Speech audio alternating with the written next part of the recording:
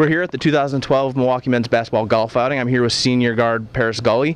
Paris, how's your summer going? I was going good. Just been working out every day, and just been having open gym. And now they got us uh, doing practice for two hours a week. So we just been doing that and meeting the new guys that been coming in, and just been grouping up real good.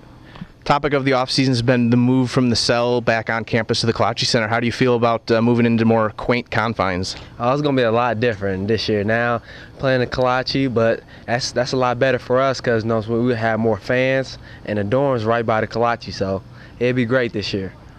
And then uh, the season's uh, just around the corner. What are your expectations going into it? Oh, just we just play hard and just talk on defense and just play hard every night, and I think we should be good. Great. Thanks for your time. Enjoy the golf outing. I appreciate it.